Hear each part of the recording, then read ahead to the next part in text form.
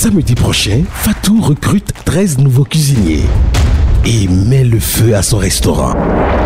Ne ratez pas l'incendie culinaire de Nobel samedi prochain dans À la casserole, cinquième épisode de la saison 3 de votre télé-réalité Dis-moi qui est la plus belle, un concours de beauté qui ne ressemble à aucun autre.